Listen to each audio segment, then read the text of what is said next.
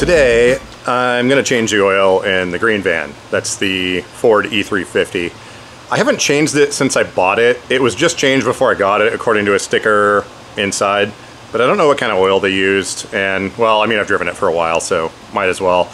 Also, these 5.4s, the ones with the non-variable valve timing, are a little bit picky about the kind of oil that should be used in them. So I'm using actually a Rotella 10W30 diesel oil in it and that should take care of any issues that you could potentially have. So I've got the thing sitting here running right now. What I normally like to do before I change the oil is put a quart of ATF in there. And the detergents and things in here kind of help clean out the valve train and whatnot. I know this is kind of like... Well, everyone has their own methods for doing things. This is just something I've always done. And I've noticed on a few engines that I've taken apart before that putting this stuff in before you change the oil tends to get a lot of the garbage out of the valve train. Now this engine having overhead cams and whatnot, um, it helps out a little bit more with that, kind of break down some of the crystallization and stuff that can happen with the oil, especially if you go on short drives. I don't go on short drives, but I don't know what's been done with this thing. So we're going to be running this Rotella here. Uh, this is a dual rated stuff. It's for gasoline and diesel. They call for 5W20 on this thing, but that was actually something that Ford changed a while back with the engines that have variable valve timing. Now, they never put the three valve engines in the vans, which I'm very thankful for because those cam phasers had so many issues on these things. So, luckily, we don't have to deal with that, and that's why they wanted 20 instead of 30. So, we're going to bump it up to 1030, and uh, we should be good to go. Yesterday, I was over at a friend's place, and uh, I thought maybe the heater core had been leaking on this thing because I was getting that sort of telltale fog out of the vents. But then I'd also been running the air conditioner and I didn't turn it off and let the air blow through. So I wound up checking the coolant, noticed it was pretty nasty. This thing's not supposed to have orange coolant in it. So I got some of the coolant and uh, the service flush stuff and did that all last night. That was in the middle of the night though at like midnight or something, so I didn't film it. But anyways, um, I'm gonna let this thing idle here for a few more minutes and then uh, we should be ready to pop the drain plug, screw in a new filter, which by the way, OEM Motorcraft, it's the way to go. Um, these things are actually pretty inexpensive. I think it was like $4. but I always like to stick with the Motorcraft stuff specifically on Ford trucks. I've actually got a degree in automotive technology, which arguably doesn't do me a lot of good right now, but we did a lot of training and it wasn't just the typical, oh, you should buy our stuff because it's our brand and everything else sucks. We actually did oil analysis on these things. We've cut them apart in varying conditions and these are definitely what you want to use. I'm feeling a little bit zesty today, so rolling around on the ground shouldn't be too much of an issue. Side note, it's actually costing me more to change the oil myself than it would be if I took it to an oil change place. But I know I'm going to have the oil in there that I want. So I'm going to try and find some cardboard to put down on the ground so I can slide around on that, and then we'll get this party started. Well, van's been running for probably about 20 minutes or so. I just shut it off. I'm gonna let it cool for just a little bit, but something just got delivered. Um, another random project. I wouldn't even call it a project as much as it is just like a, an IRL meme. Come on, why is everything taped shut? It's a little miniature die-cast dumpster um, made out of metal. It would have been cool if it was maybe about this big, but this this will still work. Um, we're gonna make this into a candle. Just as an ode to the dumpster fire that is the year 2020 so far, especially around here in Portland. Um, yeah, so uh, probably gonna screw around with this a little bit later today, but isn't it cute? It's just a little dumpster. All right, I'm gonna, oh, forgot I turned on the barbecue a little bit ago. I gotta cook up some meat that's about to expire and then van should be cooled down by then and yeah, scalding hot oil. All right, so here we are into the van and we are going to drain the oil on this thing. Luckily this van has a lift on it, so it's tall enough to get underneath without jacking it up. Get this bolt loose here. Okay, now what I usually like to do is get a magnet and then hold that up next to the drain plug because invariably when you get the thing off of there, it will go flying and get covered in oil. All right, there we go. And huzzah! There we go, minimal mess. And we can take a look at the seal on here and see if it needs replacing. Looks like we're still in pretty good shape. I know a lot of people like to uh, replace the gasket on the drain plug with uh, every oil change, but I think in this case, we're good to go. It's an O-ring style one, and it still looks like it's in good shape. You may be wondering why I'm using a white towel for this, or white shop rags. It's because when you wash them, you can use bleach, and then you don't have to worry about the color going away. okay, I think we've got enough clearance here to let that continue draining and have this under the filter at the same time. Let's see how tight this thing is. This always makes a mess, so I usually put a towel over my arm like this. And uh, helps a little bit.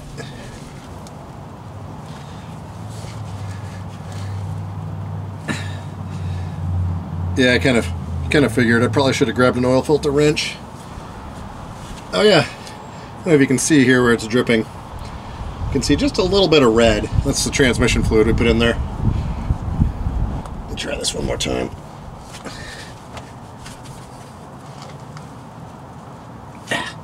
Yep, need a wrench. Be right back. Uh, for whatever reason, I can't find my oil filter wrenches, so still sorting through everything that came in from storage, so we're going to use a ratchet strap. Not the most ideal thing in the world, but it'll get the job done.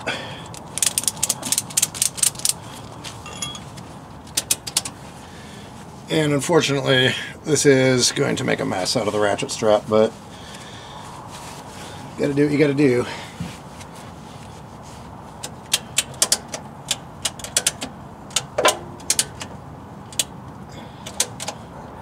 Oh boy. Uh, I think we got us one of those situations where the oil filter is not going to come off. Um, I'm going to screw around with this and then I'll be back.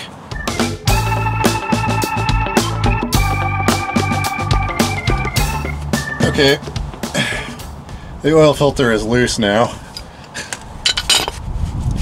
I found my oil filter wrench, but it didn't work. So, we had to resort to more drastic measures.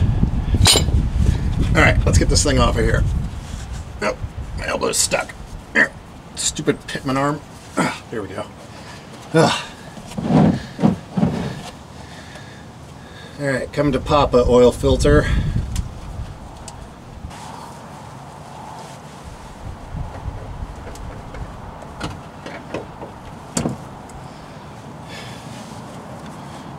Okay.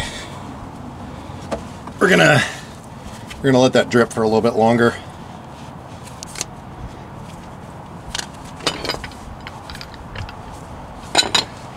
Actually, let's have a look here.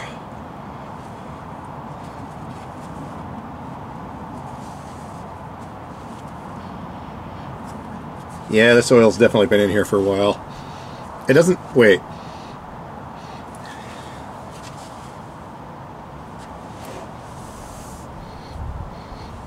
Okay, so it's not Pennzoil, but Pennzoil has definitely been in this engine.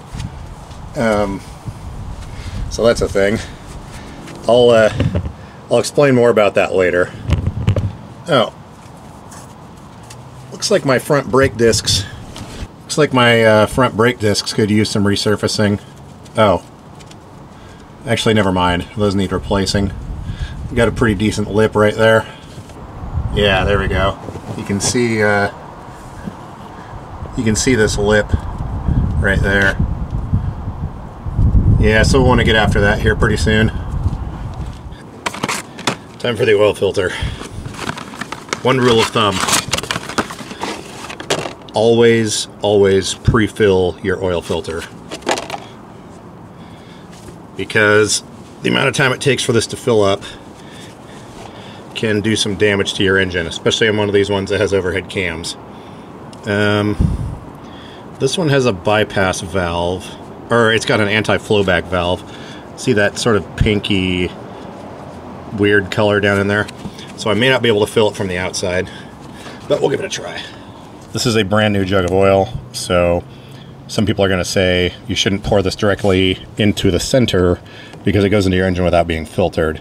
But I'm pretty sure we're okay because if there was particulates in this, I wouldn't be putting it in the engine. So I'm going to try and fill it around the edges here. It usually takes forever, but with that anti-flow back valve, I don't think it's going to let me do that. So we'll see.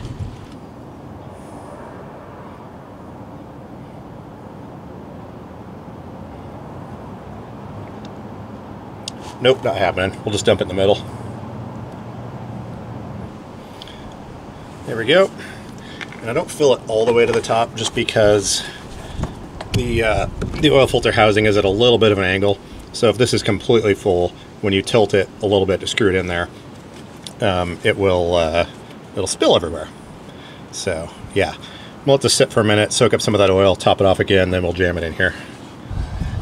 Urgh. Okay. Looks like we're done draining. We've got our filter here, which is uh, nice and new. This is uh, FL820S.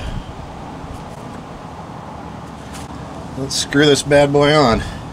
Always hand tight, never use a wrench putting them on. Which I'm pretty sure is why the old one didn't come off, is because someone used a wrench. Oh, I forgot to write the date on it. Oh well, I usually like to write the date and the mileage on there. Just for whatever reason. I'm going to get this pretty snug with both of my hands. There we go. I usually tighten it up all the way and then I back it off just the tiniest amount. And whether it's just a superstition or not, I feel like that sets the the fibers and the uh, rubber on the seal so it'll come back off easier. Probably pure hogwash, but it's something I do. And there we go. New oil filter. No new leaks. Oh yeah, that light flares. Obnoxious. Got our drain plug back in. Got all the oil wiped off of that. And it's beautiful under here. No leaks anywhere. Oh, I do need to replace the belt at some point though. It uh, it squeaks occasionally with high RPM shifting. Plus it's uh, looking a little bit old. Oh yeah, and here's, oh, got a tube that's interfering here. It's my transmission cooler line. I'll have to readjust that so these hoses aren't interfering, but this is our coolant drain here. Used that last night when I flushed out the cooling system. Um, I'm going to grab some new zip ties and readjust this hose a little bit because rubber rubbing on rubber will definitely wear a hole in that. And yeah, it's already starting to wear a little bit. We don't need any um, any uh, radiator hose leaks. This filter got a little bit mangled. A little bit mangled in the process of getting it off there. I actually don't even see a brand on it. What is this thing?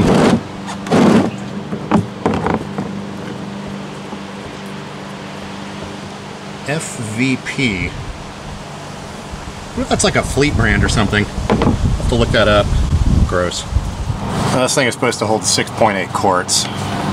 So, dump in the rest of this gallon. Oop. Dump that right on the circuit breaker for the lift. Good. Let's move our towel. There we go.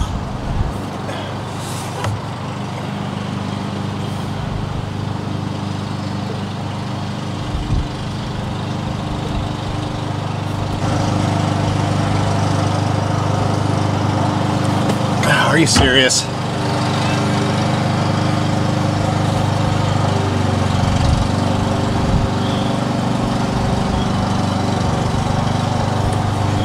At least I had the towel there. This reach is a little bit high for me. Motor control above my shoulders is a little tricky. okay, slower.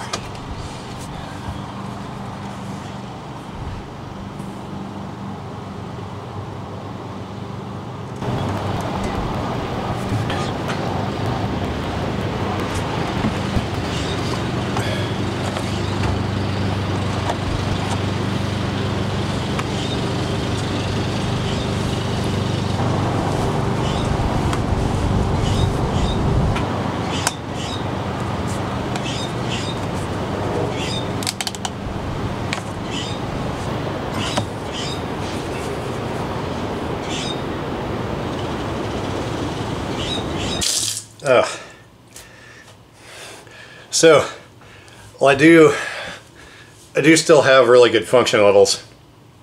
Anything above shoulder height is extremely difficult. So it is kind of frustrating to have gone to school and done all the ASE certification tests and everything.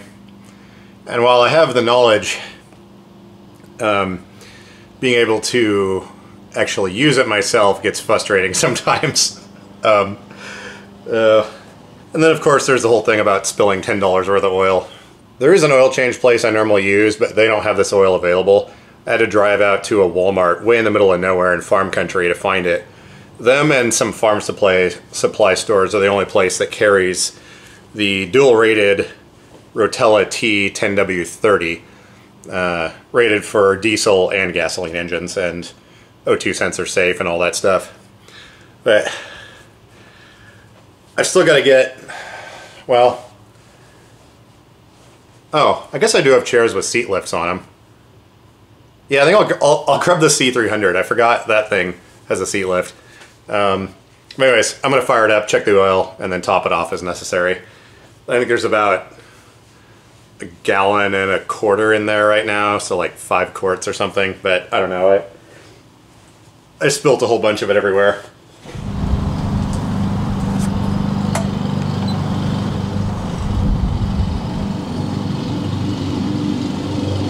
Okay, now I can actually reach things.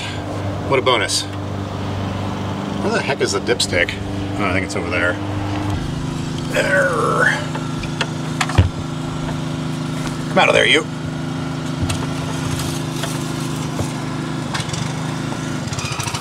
Why this is hard to reach even with a seat lift.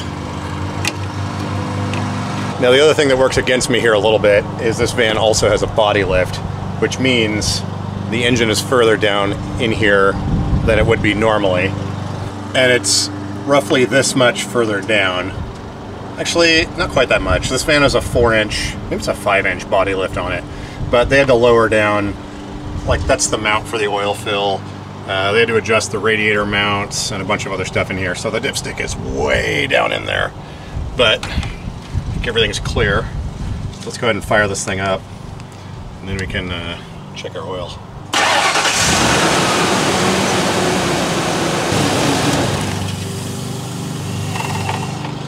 All right, we'll let this sit for a minute and drain down and then we'll see what our oil level is. So that dipstick mount seems a little bit loose. I might have to check the bolts on that. Yeah, it looks like we need about two more quarts. Should be a little bit easier now that the uh, they got the seat lift. Oh yeah, this is great. And actually, while we're here,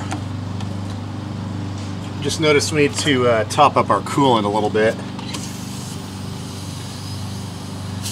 While these engines don't have a special coolant fill procedure, um, after refilling it and driving it around, uh, usually the rest of the air will work out of the system and you'll have to top it off a little bit.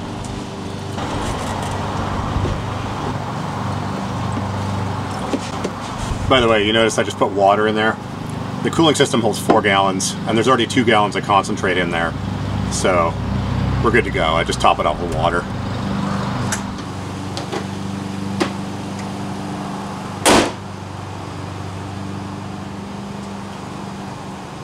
And there we go. All topped up, leak checked, good to go. Coolant's been topped off, everything's cleaned up. I'm gonna dump the oil into the other containers probably tomorrow or something because my arms are a bit jello right now. But yeah, there you go. I changed my own oil. But at what cost?